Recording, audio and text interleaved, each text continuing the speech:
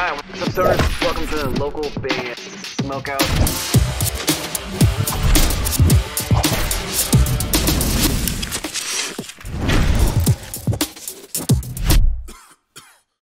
Ladies and gentlemen, Mikey Violator in the building. Hell yeah! What's up, dude? How are you doing? How's the day going, sir? It's going. We're going through. Uh, I just left Vegas. We did laundry, and now we're sitting in a parking lot while one of our guys eats a pita sandwich or something. For sure. How was how was Vegas? Was Vegas good? Did you do any gambling? No, we we literally pulled into Vegas, did our laundry, and ate some tacos. That was it. Hell yeah. How how is tour so far? You guys are on tour with uh with Attila, I believe he is legend, a couple others. How's that going? It's good. Um, it's been the shows have been pretty wild. We've uh, we've been doing like fun things with the crowd every night. Something that's just kind of like different every night. Like we never know what we're gonna do. Like the other night we played musical chairs, and then That is uh, awesome. One night we had everybody lay down on the floor and roll around in circles. I, I saw the pictures of that when you had everybody lay down in the pit and everything. That's cool. Um, is it is there is the crowd Yeah. ever like we don't really want to do that, blah blah blah, or is it or is the response really good? Like, dude, I want a chair right now. I want to play with you guys. we always we always tell them that it's, you know whatever we do whatever we ask them to do they only have to do it if it's that's what we always say like we're like you don't have to put your hands up you don't have to walk up here It'd be more fun if you did but you don't have to Hell, and you I guys, that. because I, I get telling me like what to do and then getting mad like if i'm not moving around. And it's like i'll move around if i like you guys like just relax. So we we try to kind of keep that in mind. We're on stage and it's like not get angry at the crowd if they don't want to mosh. Or if there's like 10 people there and like the opening band's like everybody move! And it's like dude like they don't they're not going to man. There's nobody here to do it. We got to build up to the moving, bro. We got to build up to it. saying like yeah Hell yeah! So you guys just dropped a, an awesome album. It's not easy being human. There's tons of crazy features on here. My my first question is: Is there someone that you weren't able to get on the album that it almost worked out, and for some reason, just a label didn't clear or something? But is there one other feature that you just weren't able to get?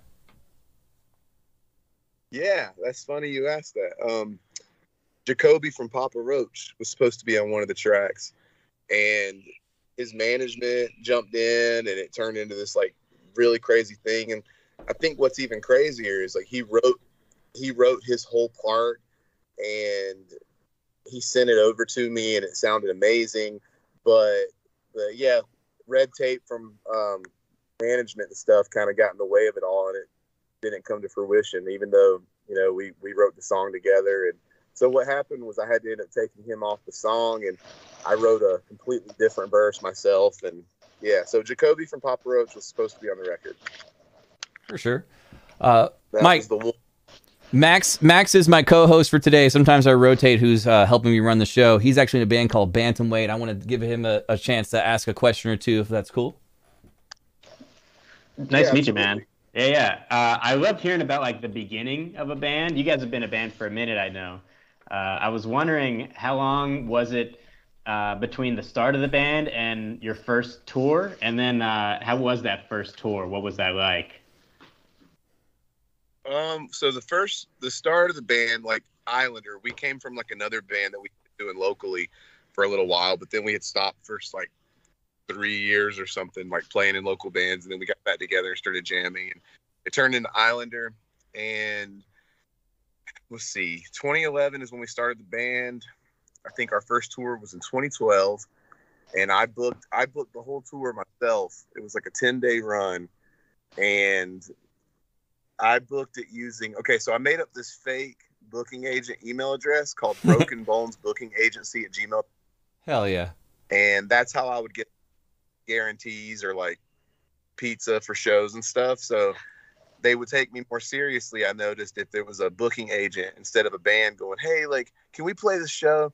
Well, so what I would do is I would message them and say, "Hey, I'm I would use my middle name. My middle name Shane. I would say I'm Shane from Broken Bones Booking Agency, and I'm trying to book this band um, right now to play a show in your area because they're playing. Like what I would do is I would get like such and such a date with like a really big band, and then I would put their name inside the email and say we're trying we're we have a show the night prior with so and so, but the guys are trying to fill an off date on the next day in your town, and I would just keep going down cities until the tour was filled up, and that that was really it. I would just look at calendars of other of other shows coming through, like different towns, and I would just book them as far out as I could. And um, we went on that tour, and I think one show ended up dropping or whatever, but it was fun. Um, you know, it wasn't like a tour package or anything, so every show was completely different from the other one. Like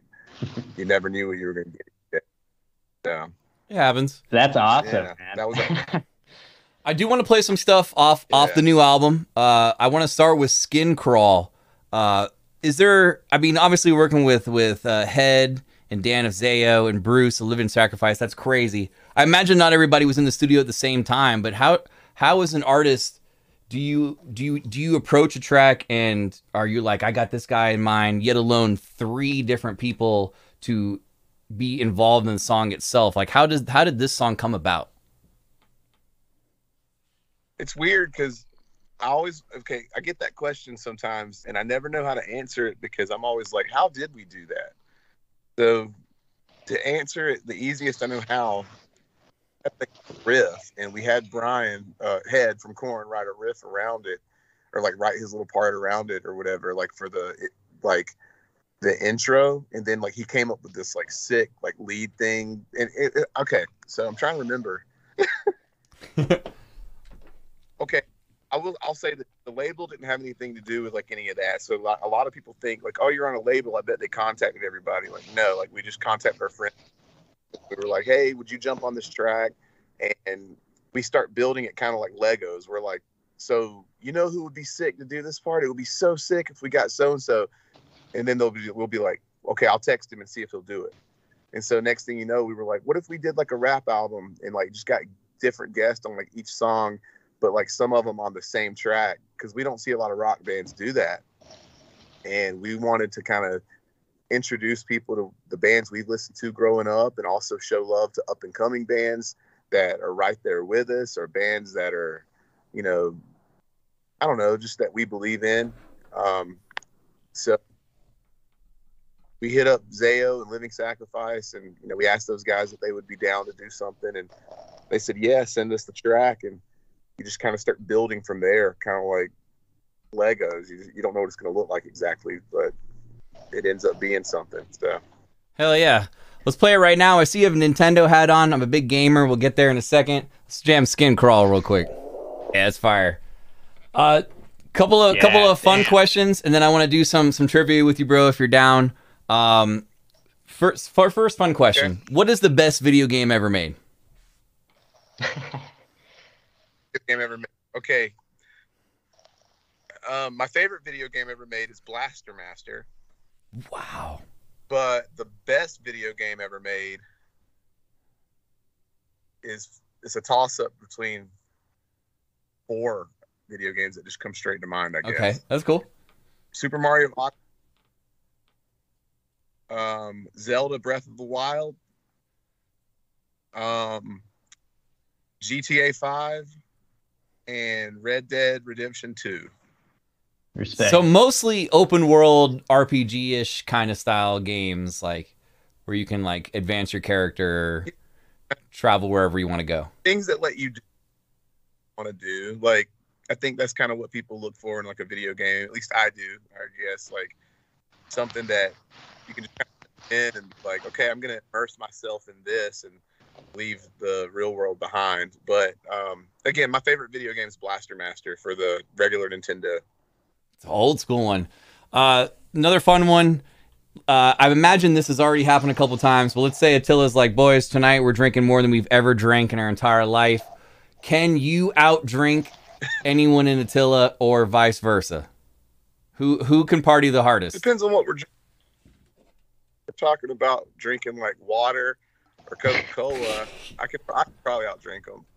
But um, as far as like alcohol, I try not to drink too much of it, and so that that that would have to go to Attila. But also, I mean, I think a lot of it is, you know, people don't realize like rock bands and stuff. We sing about stuff sometimes, and there's some bands that sing about things that are, they they really live, and then there's some bands that sing about things that they live, but they don't live them as hard as people think they do. I think Attila is one of those bands that, um, they definitely don't party enough, like party hard enough to like kill themselves. Like I think a lot of people think that they're out here getting wasted every single day, and from what I can tell, you know, they're they're trying to like stay alive for the most part. So Hell yeah. Well said. Well said. Uh, I have to ask the overwhelming question that our fans wanted me to ask. Regards, a while back we had Kevin Lyman on the from the Warped Tour on the show. You already know what I'm going to ask about the uh, the you guys getting booted off. I'd always heard always heard a rumor that it was because uh, you guys just went level one million on stage and just in the heat of the moment destroyed the drum set. Is there is that the correct accurate story? Or what what is the truth behind why you guys were booted off Warped Tour? I'll get to that. But did you guys ask Kevin the same thing? We did not. We actually asked Kevin about uh what was the it was like Crossfaith? Something about we asked them something about Crossfaith getting kicked off because they drank too much Jaeger like every single day. Uh Gotcha. I don't I don't really remember. It was a while ago, but Okay, so yeah, I'll, I'll tell you what happened about Warped Tour. Um, the show wasn't even really that crazy. It, wa- it was just like a normal show, and at the end of the set, I just looked back at the drum kit and thought, "Hey, I'm gonna kind of like a, a front flip over the drum kit and kind of just like." Not even tackle the drum kit, just kind of like do like this like little like swoosh thing I know how to do, like over the drum kit. So I went to just like flip on, into the drums and one of the it was the floor tom. The floor tom fell. It got dented. There was a dent. It was still usable. The next band used it 15 minutes later after after we got off stage. Um and that that was literally it. So i think by the time it got back to kevin word was he thought the whole stage was like burning down or something. So I went to his office with my manager, and he said, "That was your warped tour." And he put his hand out and to shake my hand. And I'm gonna be straight up, man. Kevin, Kevin, I think he had so much on his plate at that time. I think that, um, I think that he was just, you know, kind of done with everything. It was his last warped tour. Um, I, if I could go back and change anything, it would be not apologizing um, on the internet because we were freaked out at the time. We didn't know what was going on, and so we just like let everybody know, like, like we're sorry, like that we dented this drum kit. Um, and now I look back and I'm just like, it's so stupid. Like there was a little, a little speck of a dent in a drum kit, and we got kicked off Warped Tour. We weren't even getting paid to do that Warped Tour. We were doing it for free. One part last Tour. We weren't getting catering on that Warped Tour none of that is uh, shade at Kevin. It's just you know we we chose to do that. Those were decisions that we made. It's just so frustrating that we drove out to start Warped Tour and the very first day that we're there, and it was my first Warped Tour. I had never even been before. Um, I was there for a total of five hours before I got kicked out. So it made me feel kind of like I was playing like a church show, like where they didn't want us to move, move the pew or something, like before we like, got on stage it just it, it felt everything but punk rock. That that's kind of I feel you. that's kind of the vibe. So I I just felt kind of misunderstood about the whole thing. I have photos of the drum kit, and again, like I said, it was used not only that day but the rest of the tour. Um, nothing except the that's why we got kicked off, and it got way bigger and more publicity than it should have. I gotcha. Uh, Yeah. Max, there's like some background noise in, in in the background that keeps I think cutting them out every a little bit. If you could mute your mic just for a second, I'm sorry. Uh, Here we Mikey, go. uh, Mikey, we got time for for one one more final uh, question, but I I really want to ask you this: What song are you most proud of regarding the new album? I want to play what's the song that you're most proud of out of the 17 tracks. Oh man. I know it's hard; they're all your babies. They're all your babies, but if you had to pick one, Oh man. Let me think. Let me think. I'm trying to remember all of them because there's 17 of them. I can't. I can't do that. I, I really can't do that. I'll, how about this? I'll just pick one that that um I think everybody should go jam. I think it's really cool. I don't think it's getting enough attention that we just did a song with Spencer from Underoath. I think that's pretty sick. So I would say uh, the song "We Scream" that starts the record is the one that kind of just kicks it into high gear, and um, hopefully we can do a tour with Underoath soon and perform that song together every night that would be amazing. and smash drum kits. Hell yeah, let's go. Give me a hell yeah. This is We Scream. We're hanging out with Mikey Islander. Fire, dude. Oh, you got uh, you're you're a wrestling fan. You got Sting. Oh yeah, I'm a huge wrestling fan. Who? Let's say this. Okay, who's your favorite wrestler? I, for me, there's so many. It's so hard. I like a bunch of different wrestlers for different reasons. I like Rey Mysterio just because of how wild and crazy. I mean, obviously Sting. I guess by showing me that is your favorite wrestler. Oh yeah. Um. So check out our music video for "Crazy Crazy World." Um, Sting stars in the whole thing.